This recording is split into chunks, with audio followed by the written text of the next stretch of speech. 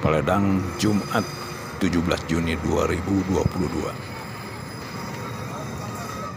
Seperti biasa, Pangrango yang datang dari Sukabumi mampir sebentar di Paledang menurunkan penumpang yang tidak terlalu banyak dan melanjutkan ke stasiun Bogor untuk mengambil penumpang sekaligus langsir.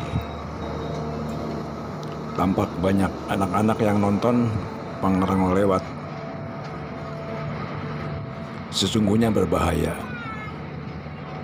Lantaran banyak anak-anak yang dekat dengan badan kereta. Peron stasiun Peledang. Tidak banyak calon penumpang yang mau naik karena sudah naik terlebih dahulu di stasiun Bogor. Ini perlintasan kantor batu yang cukup ramai dengan lalu lintas.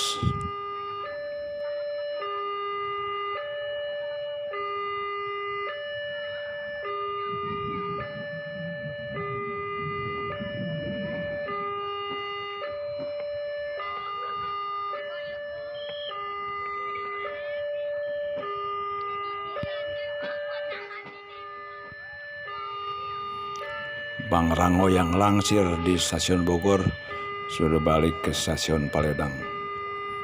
Dia berjalan terus melewati peron sampai kepalanya berada di ujung perlintasan kantor batu.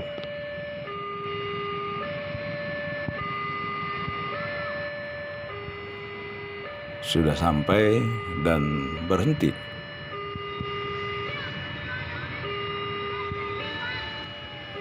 Sementara berhenti, pintu perlintasan dibuka sementara sambil menunggu kereta berangkat menuju ke Sukabumi.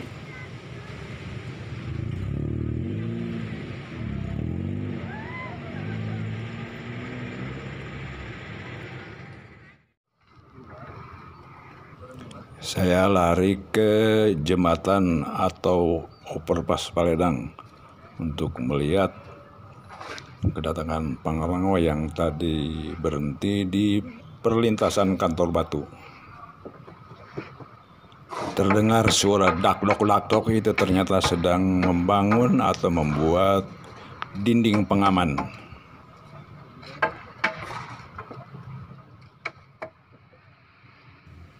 Dari jauh Pangrango sudah kelihatan. Sebentar lagi akan melewati kolong jembatan Paledang.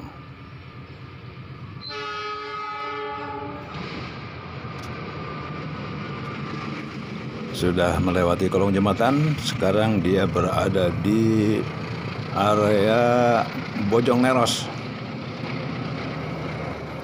Jalur Bojong Neros terbilang lurus sampai belokan menjelang jembatan BTM atau jembatan Empang. Di ruas double track Bojong Neros terdapat empat wesel. Tampak ada rel berbentuk huruf S. Wesel di sini belum berfungsi seperti juga wesel di Peledang untuk langsir.